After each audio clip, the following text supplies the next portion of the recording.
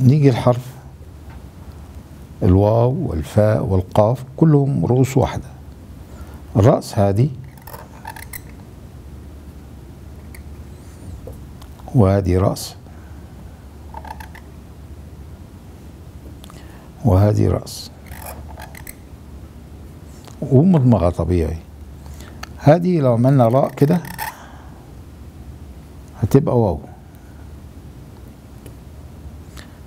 ولو عملنا باء هتبقى فاء. ولو عملنا حرف النون بهذا الشكل بالسقوط هذا هتبقى قاف. نعمل واو مرة ثانية رأس وراء. الراء عادة ترسم زي الواو. طيب الفاء الوسطية عندنا حركة نهاية الباء وبداية الباء. هنجمع واحد مع اتنين في حركة واحدة يبقى أدي النهاية وأدي الحركة التانية. الحركة دي نهاية باء والحركة دي بداية باء. الاتنين مع بعض نجمعهم يدونا نقطة في المنتصف. فراغ نقطة هو الفاء الوسطية. نكتب قف. أدي فاء.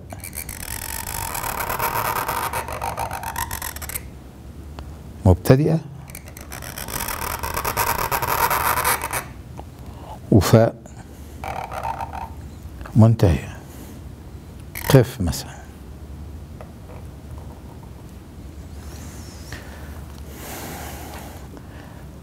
نعمل تمرين على العين الوسطية والمنتهية. واحد اثنين. واحد اثنين. واحد اثنين. واحد عين منتهية. يبقى الحركة دي واحد اثنين كذلك واحد اثنين هذه دوران.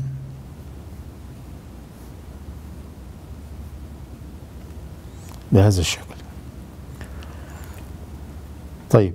لو فرض تمرين على الفاء ألف. إيه اللي عايزين نقوله هنا؟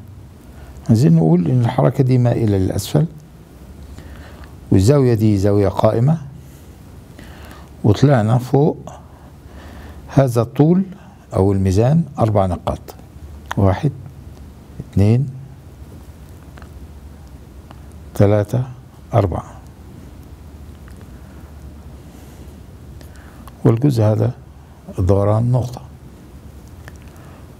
هنكتب في هنلاحظ إن الياء تستقر على السطر.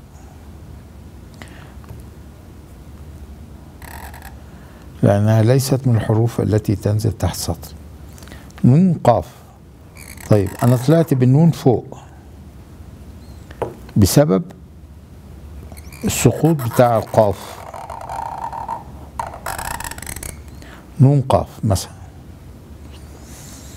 لو ابتديت بالنون هنا القاف هتنزل تحت سطر يبقى أنا خليت بالقاعدة.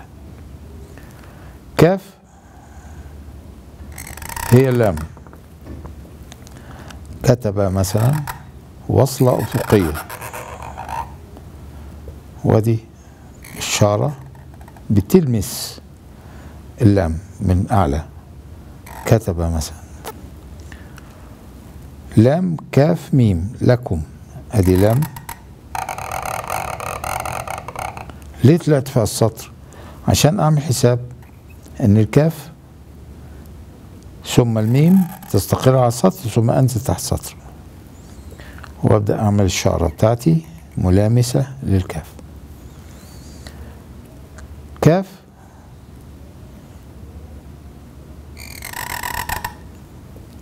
كاف كمان.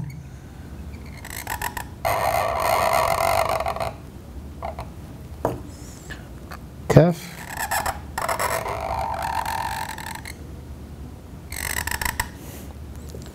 ادي كاف أولى.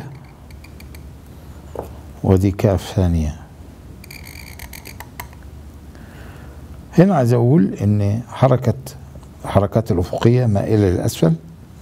وحركة الحركات الرأسية مائله لليسار قليلا ومتوازية يعني اللام والكاف حركتين رأسيتين متوازيتين.